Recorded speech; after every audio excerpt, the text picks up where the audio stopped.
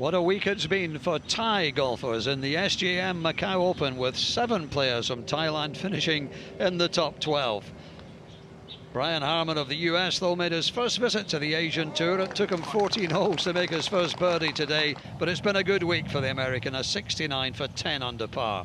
A good week too for the defending champion, Min Woo Lee, this birdie at the 15th, and a top 10 finish for the Australian.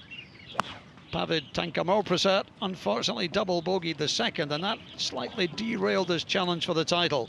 But this lovely tee shot at the fourth set up a birdie, and a 67 for 14 under made it another good week for the Thai. It would be a surprise if John Catlin wasn't at or near the top of the leaderboard. It's been an astonishing season for the Asian Tour Order of Merit leader. This his second into the 10th, a six birdie 65 and another top four finish.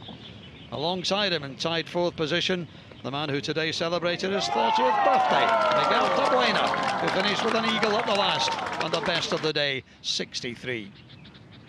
Poosit Supupramai birdied the fourth, long putt two. That was a confidence booster.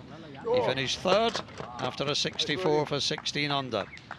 And Gunn Charoenkul, second for the fourth time in the Asian Tour. He's still looking for his first victory.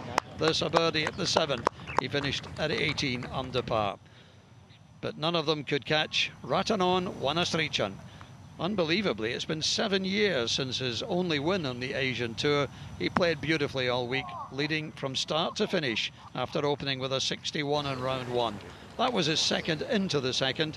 He followed that up with birdies at the third, the sixth, the seventh, and the 10th before this approach to 13 virtually sealed the deal.